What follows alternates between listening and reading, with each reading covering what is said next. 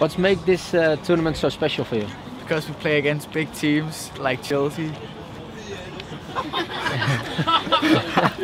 That's okay.